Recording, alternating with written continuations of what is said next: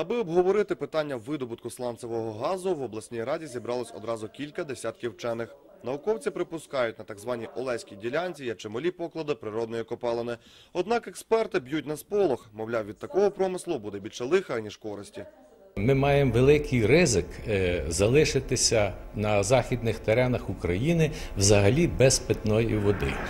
Оскільки сланцевий газ, який нібито залягає на наших теренах, є на невеликих глибинах, то при бурінні е, горизонтальних свердловин буде в будь-якому випадку забруднення цих питних вод.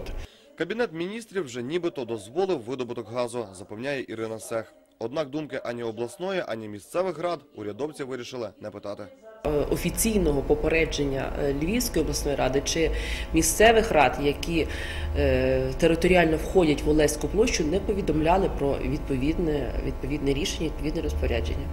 Мешканці Бузька та інших прилеглих міст, біля яких планують видобувати сланцевий газ, готові власним тілом перешкодити такому промислу. Е, Знаючи, яка ситуація, спілкуюся з людьми, то люди говорять навіть так, що ми готові палити сьогодні, обігрівати свої оселі соломою, дровами, але тільки щоб не добували сланцевого газу. І я впевнений, що е, активні громади е, будуть мобілізовані за годину-дві для того, щоб ну, фізично не допустити е, буріння на їхніх територіях е, свердловин.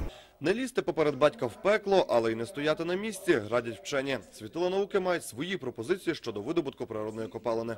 Я б запропонував пробурити не 5 тисяч свердловин, просто декілька пошукових, а може навіть параметричних свердловин, на яких відпрацювати технологію, а потім от вирішити оце питання. Детальніше проблеми щодо видобутку сланцевого газу розгляне 26 червня на черговій сесії Львівської обласної ради.